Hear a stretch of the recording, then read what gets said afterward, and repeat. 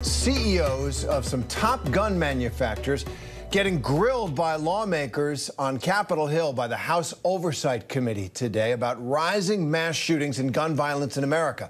Democrats on this panel say the companies are marketing weapons of war to children and profiting from the nationwide gun violence epidemic. We're going to take a live look there at the hearing.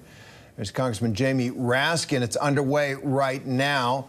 Uh, the, the, the companies, of course, say they are making lawful weapons in a lawful and responsible way, and they can't be held accountable for the actions of individuals or the failures of the gun laws on the books. But it has led to some fireworks. Earlier, it led to a heated exchange between Democratic Committee Chairwoman Carolyn Maloney and Marty Daniel. He's the CEO of Daniel Defense. That company made the rifle used in the Uvalde shooting. Take a listen. Mr. Daniel, you have sent thoughts and prayers to the victims of Uvalde, but you have never accepted responsibility for selling the weapons that killed these innocent children. And you testified earlier uh, that there has been a, a, decline in personal responsibility. I, I want to give you the opportunity now to show personal responsibility. Will you accept personal responsibility for your company's role in this tragedy and apologize to the families of Uvalde. Chairwoman Maloney, these acts are committed by murderers. The murderers are responsible.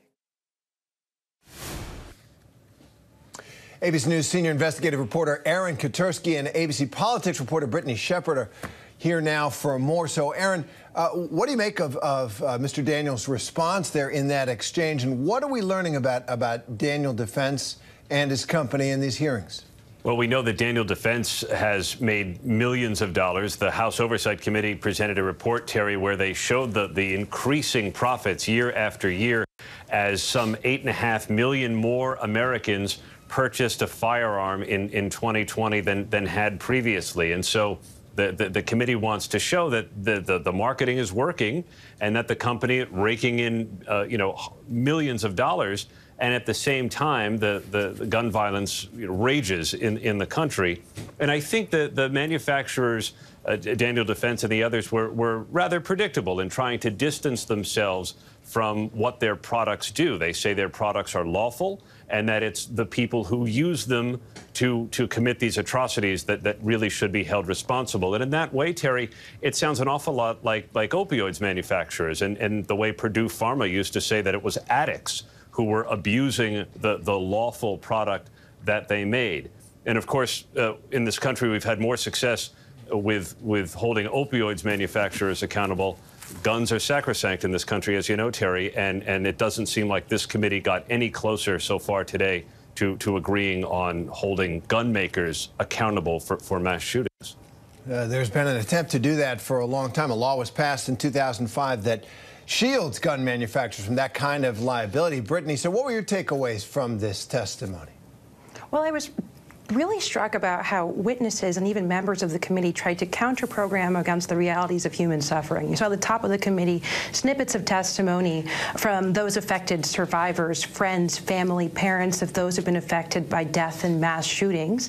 And I think there were two strategies. One, distraction. You saw that from committee member Rep. Jody Hice of Georgia, a far conservative uh, candidate there. And he was quick to pivot the conversation in ways Republicans have been pivoting conversations about stringent gun legislation for the last six months to, to year, pivoting it on Democrats about defunding the police and being soft on crime. Of course, those are two topics not to come up. It's not what the hearing was about, but he took a significant amount of, of his statement uh, blasting Democrats and blasting Chair Maloney, saying that everything was hogwash and it was a political uh, questioning only, and that Uh, uh, Chairman Maloney herself should be apologizing to gun manufacturers and the American people for, in effect, wasting their time saying you wouldn't go after the creators of forks and spoons for the obesity crisis. And then you saw an attempt to humanize their product from gun from these gun manufacturer witnesses saying we are companies made up of mothers and fathers and brothers and sisters and our product is made here in America and that this issue is really a community issue and one for mental health um, for Congress to legislate on the local level and for state houses to deal with on their own turf while offering, of course, the expected thoughts and prayers. Thoughts and prayers. Uh, Aaron, the, the AR 15 style rifle, that platform, has just become a phenomenon in American life. Uh, and Chairwoman Maloney said she intends to subpoena Smith & Wesson, another manufacturer. There are so many of these kinds of weapons. Smith & Wesson invited to this hearing. They didn't show up.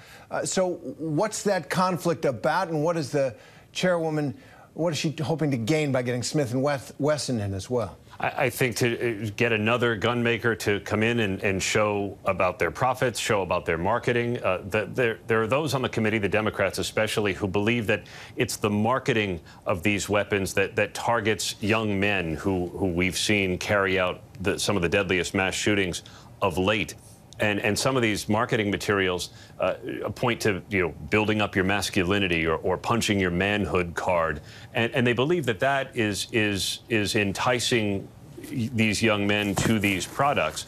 Um, and, and in that way, Terry, I think they're, they're trying to, to say that let's start with the AR-15. We heard some of the gun makers rightly point out that most of the crime committed with guns in this country is done with a handgun. Uh, but the committee clearly wants to start somewhere, and they'd like to start with this semi-automatic rifle that is used uh, in, in, in, has become the weapon of choice in, in some of these mass shootings. Thought it was interesting that one of the witnesses, though, was a woman who supports the AR-15 because she said it's a, a good weapon for women to use as they try to counter sexual violence on college campuses. She said the recoil is easier for women to deal with than an ordinary gun. Uh, that's why it was developed the way it was, not for women in particular, but to be an efficient, powerful, lightweight weapon that is e more easily used than, uh, than its predecessors. Brittany, uh, this is an effort to get Congress to hold gun makers accountable.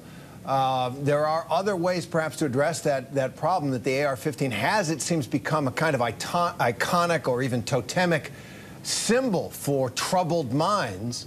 Uh, one recommendation is that long guns should have uh, an age, a minimum age of 21 for purchase instead of 18.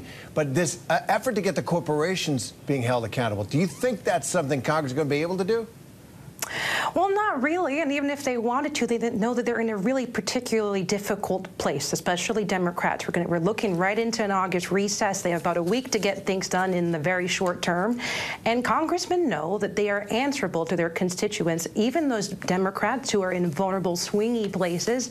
And they know that if even if they vote yes on any sort of legislation that holds gun manufacturers accountable, we're seeing an assault weapons ban trying to get pushed through Congress this week. I think it'd be really difficult to get in the House. Can only afford to lose four Democrats, and we don't really know if they have the votes there. But even if they did, these Democrats and some Republicans are going to have to go to their home districts next week to say, yes, I voted yes on a legislation that I know that was going to fail the Senate.